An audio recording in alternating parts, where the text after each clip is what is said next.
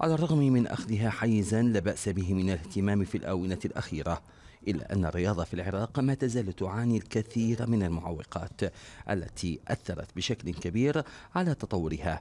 منها عدم وجود إنجاز كبير في البنى التحتية التي تعد أحد أهم المرتكزات في المعادلة الرياضية ومفتاحا من مفاتيح النجاح الرياضي للبلاد. والله المعوقات هو يعني كثيرة. يعني من ضمنها أنه هذا الواقع اللي جاي نمر به حاليا إنه وضع البلد ما مستقر.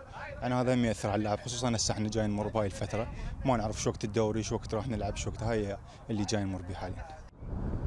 لكن البعض يرى بأن المنشآت الرياضية بدأت تتطور ولو بشكل بطيء ويمكن أن تكون بادرة جيدة لوجود إمكانيات جديدة في المستقبل القريب تسهم بتحسين الواقع الرياضي.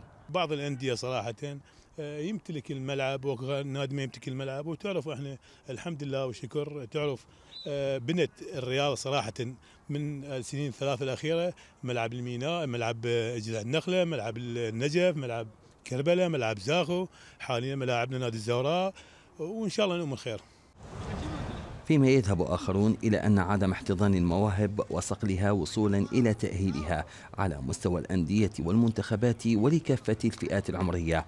تعد أهم الأسباب التي تعاني منها الرياضة العراقية فضلا عن فقر كبير في المستلزمات الرياضية التي تقدم للاعبين. أغلب الرياضة والرياضيين ماكو تخطيط صحيح ماكو دوريات منتظمة سواء كرة القدم أو باقي الرياضات. ماكو اهتمام بالبنى التحتية ماكو اهتمام بالفئات العمرية اللي هي رافد للمنتخبات الوطنية.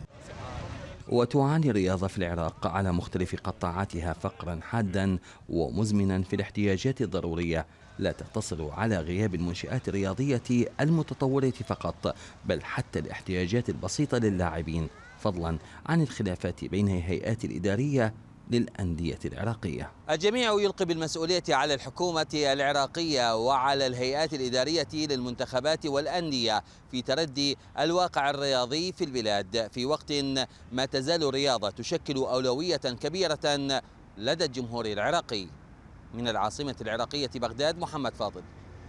الغد.